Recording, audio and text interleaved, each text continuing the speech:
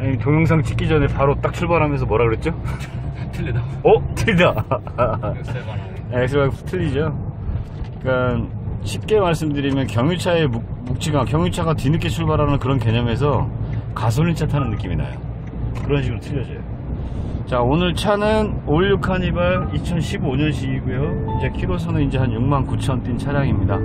아, 이 차량 오늘 장착한 것은 탄 흡기의 R 타입 하나 그리고 탄 음, 터보의 N 타입 하나. 터보 터보 인터쿨러?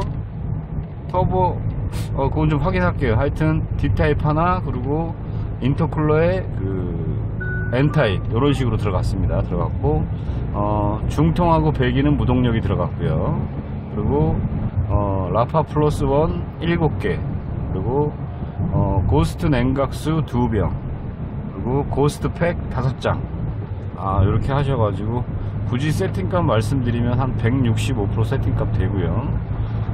지금 사장님께서는 미팅 시간에 연비 개선을 좀 했으면 좋겠다. 그리고 시내 주행 고속 주행 비율이 5대5 정도 된다고 하셔서 오늘은 흡기의 D타입을 좀 권했고요. 어, 터보 차량 같은 경우에는 인터쿨러 터보까지 어, 저희 들어가는 게 좋고요. 지금 엑셀 떼보세요. 저기 빨간 불이라서 떼라 그런 거거든요. 속도 안 떨어지면서 계속 밀죠 이거 많이 이용하시면 연비 좋아진다는 얘기가 그거예요. 이제 브레이크 잡아야 돼요, 오히려.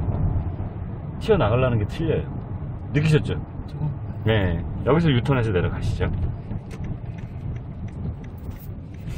여기까지, 여기까지 연비는 모르겠다. 네. 아유, 지금, 지금 뭐, 지금 잠깐 탔는데, 지금, 우리 기술 대표가 잠깐 타면서도 150, 160을 때려 밟아봐요. 부하 걸릴 일이 없지만, 그래도 체크해서 핸들을 넘기거든요?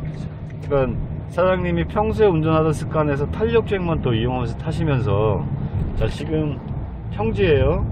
70이잖아요. 저 빨간불 했을 때 엑셀을 띄는 거예요. 속도 내려가는 거 보세요. 엑셀 뗐잖아요. 계속 유지하고 가잖아요. 이걸 많이 이용하시라는 얘기예요. 차간 거리 가까워지거나 이랬을 때 요것만 이용하시면 되고 연비는 사장님 사장님 무조건 연비였으니까 타시면서 좋아지게 되면 그때 전화 주십시오. 지금 배웠을 때 되게 잘 먹었어요.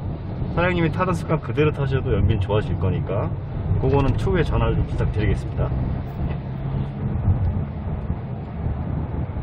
타면서도 좋아진다는 걸 아실 거예요. 그리고 제가 장거리도 한번 갔다 오시면 또 좋아진다는 걸 느끼시니까 그럴 때마다 귀찮지만 않으시다면 저한테 꼭 전화 주셔서 이렇게 이렇게 바뀌고 있습니다. 이런 내용 좀 부탁드리겠습니다. 사장님이 워낙 말씀이 없어서 고개만 끄덕끄덕 하셔.